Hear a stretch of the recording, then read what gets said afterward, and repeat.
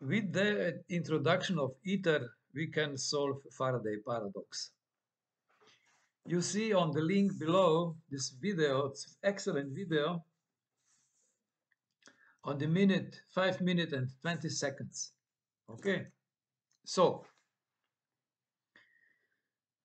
when we place a magnet and we put magnet on the rotating plate, we will have electric induction. Why?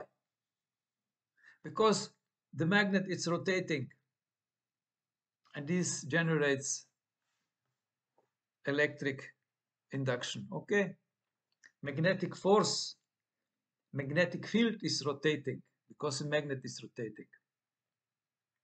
So when we lift the magnet and the magnet is not rotating and we are rotating the plate, what happened? That the plate also rotates the magnetic field of the magnet and we have the same effect. But when we rotate the magnet and the plate is not rotating, we don't have electric induction. Why? Because rotating magnet is rotating magnetic field. But this magnetic field is not going through the plate. That's the case.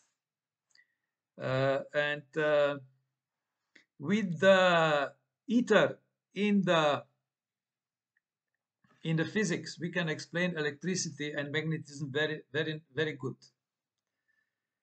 Because when you have a permanent magnet, the atomic structure of the magnet is causing that the ether start moving and ether moves in one on from one side inside and then it moves outside. This is the flux of superfluid space which today we call ether in the through the permanent magnet.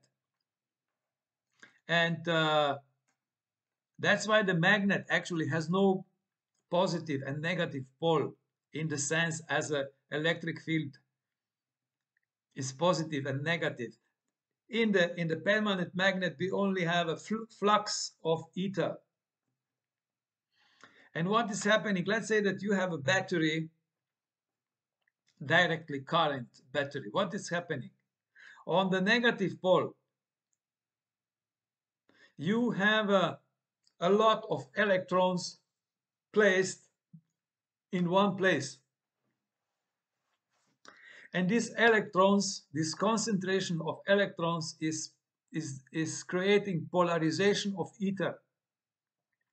That's why where there's a negative pole of the battery, the ether there is negatively charged. And what is happening then that electric current is a flow of ether. ether is following the electric wire. This is electricity. Electricity is a flow of ether around the wire. We know in in uh, in in uh, uh, in physics that uh, electric current is running around the wire. This is the flow of ether, which is polarized polarized by by high concentration of electrons.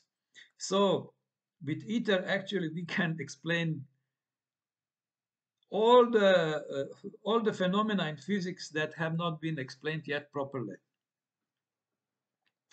The entire relativity theory can be beautifully uh, described with uh,